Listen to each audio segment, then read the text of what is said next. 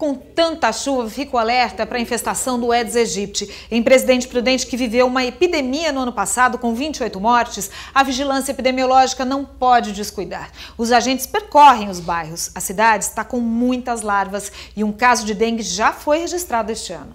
Não é nenhuma novidade o trabalho dos agentes da vigilância epidemiológica, mas ele é fundamental em nome da prevenção. Orientação nunca é demais. A colaboração de vocês sempre que chover finalzinho da tarde você dá uma olhadinha. Aqui é difícil porque é todo coberto, né? É uhum. É difícil juntar água aqui, água de chuva. Uhum. Mas em casa, ou algum objeto que tiver água aqui, você pega e tenta eliminar.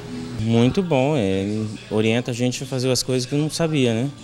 A visita começou por empresas da Vila Formosa, em Presidente Prudente.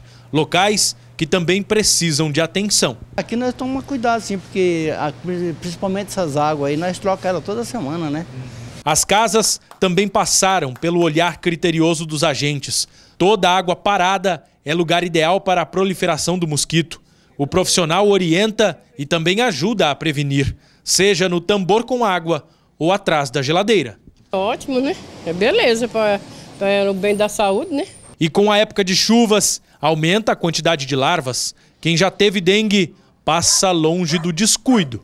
É, ainda tomo mais cuidado porque é, eu sei que, que ele é difícil para escapar vivo, ele ainda escapa com, de, com sequela, com tantas coisas, que quem soubesse não deixava nada. Esse serviço foi intensificado depois da realização do índice de infestação predial.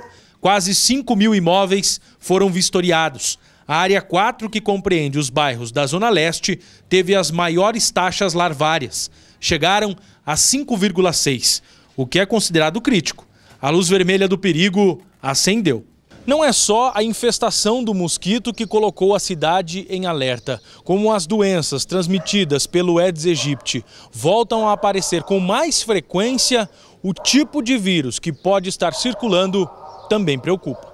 Se chega uma pessoa num período de transmissão de outros vírus aí nós podemos desenvolver assim uma nova epidemia com outros vírus como chikungunya, ou zika, febre amarela, mas sendo que é o mesmo mosquito que transmite. Presidente Prudente viveu em 2016 a maior epidemia da história. Foram mais de 13 mil casos e 28 mortes.